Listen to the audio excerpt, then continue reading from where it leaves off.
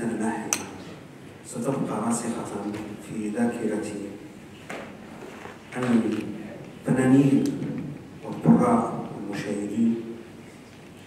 أذكر أن ملكة كنت أعرفها اسما أدرسه لطلبتي. اسما مقرونا بمدرسة دار البيضاء وكان دائما ثمة استعداد تلقائي لكل أستاذ منتسب للمعهد لمعهد الفنون الجميلة بتكون استعداد عاطفي وتلقائي لأن يبني مسافة عاطفية مع فناني دار البيضاء هذا التكريم نستحضر فيه كثير من الأشياء ذكريات والأسماء والحدوثات أود بهذه المناسبة أن أستحضر رفيقي ورفيقنا جميعا مرحوم محمد المليحي في شيء استحدثناه بالصدفة بالنية الحسنة اليوم. وجعلنا منه رمزا دائما لكل تكريمات وجوائز أصيلة. كل كل سنة تنجي لهذا هذا البلاد ب- باش نشتغل مع الناس اللي في ال- المحل ديال الحفر. وتنعاون حيت درست هادشي ديال الحفر تنعاون اللي اللي بغى يتعلم واللي بغى يتعلم شي تكنيك خاصة. م- اللي من اللي أنا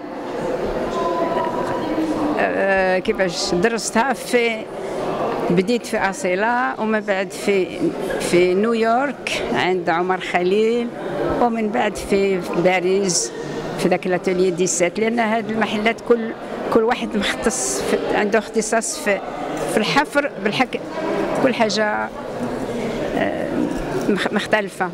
أيوا. نقولوا من 78 إلى الآن. ايوا والحمد لله.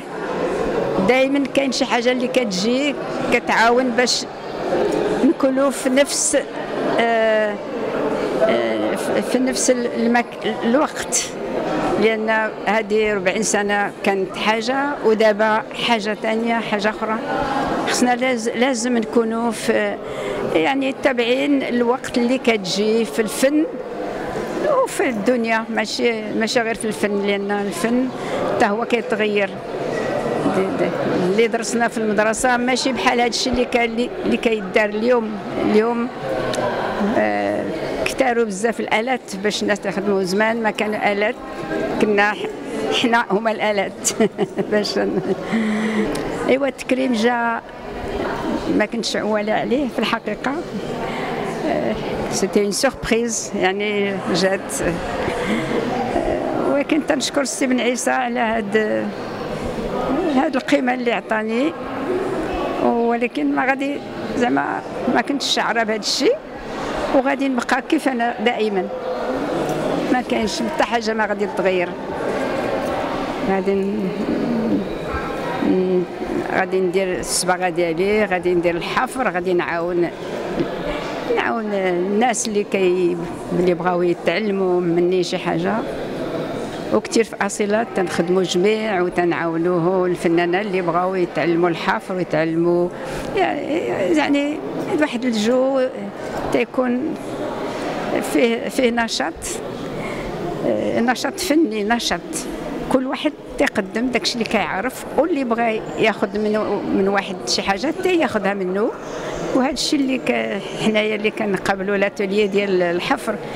حنا دائما موجودين الناس اللي بغا يتعلموا